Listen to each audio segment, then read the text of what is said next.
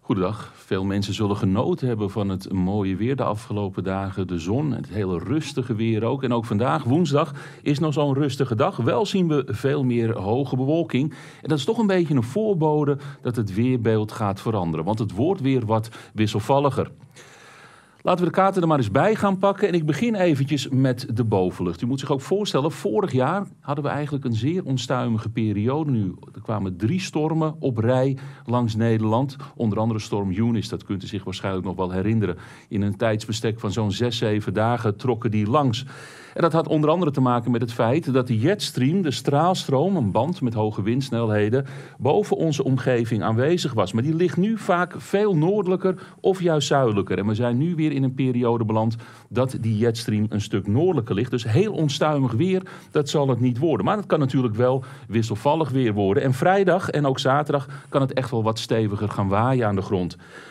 Zondag en begin volgende week zien we juist weer dat er wat meer hoge druk invloed gaat komen. Dan komen we weer terug op heel rustig weer. Maar of het ook zo zonnig wordt, dat is maar de vraag. Want mogelijk dat het een paar grijze dagen gaan worden. Laten we ook de grondkaarten maar eens bij gaan pakken. En die pakken we dan op op woensdagmiddag. En dan zien we in eerste instantie nog die zuidelijke stroming waar we nu mee te maken hebben. Veel sluierwolken zijn er aanwezig, maar dat is feitelijk ook alles. Een zwakke storing ligt boven Groot-Brittannië. En die komt onze kant op. En die gaat de komende nacht, de nacht van woensdag op donderdag, hier en daar toch wel voor wat miserregen zorgen. En ook donderdag overdag moeten we er rekening mee houden dat er af en toe wat neerslag in ons land kan gaan vallen. Is in ieder geval veel meer bewolking aanwezig. En dan zet ik de kaart even stil op vrijdagmiddag, want dan zien we een lage drukgebied boven het zuiden van Noorwegen. En dat lage drukgebied dat zorgt voor veel wind boven ons land. Dat betekent dat het vrijdag best stevig gaat waaien. Een vrij krachtige wind boven land. En in het Waddengebied komen we misschien wel aan een harde of stormachtige wind. Het is wel zo dat het weerbeeld overwegend droog is. In de ochtend kan er nog wel wat neerslag vallen, maar dat trekt allemaal vrij snel voorbij. Als ik dan de kaart weer aanzet, dan zien we dat zaterdag het allemaal geleidelijk aan rustiger wordt. Wel trekt er dan nog een regengebied over. En dan komen we aan op zondag. En dan zien we weer een hoge drukgebied gaan opbouwen. En dat betekent dat de nacht van zondag op maandag weer brede opklaringen kent, zoals het er nu naar uitziet. En dan kan de temperatuur weer flink onderuit gaan. En dat hoge drukgebied, dat zorgt er ook voor dat maandag een hele rustige dag wordt, waarbij wel de kans op mist aan aanwezig is. Het hoge drukgebied nestelt zich een beetje boven Nederland en Duitsland op maandag.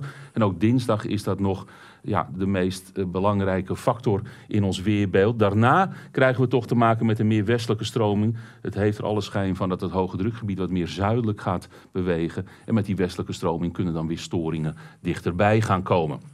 Nog even terug naar de regen voor komende nacht en morgenochtend. Ik heb hier het model voor stof in de atmosfeer.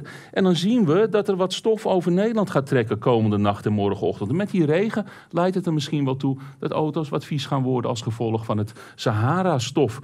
Daarna, vanaf vrijdag eigenlijk al, is dat helemaal verdwenen. En dat betekent dat het ook voorlopig niet terug gaat komen. Met andere woorden, u kunt uw auto vanaf zaterdag gewoon weer gaan wassen. Maar u kunt hem ook gewoon in de regen laten staan, want zaterdag wordt het waarschijnlijk wel nat.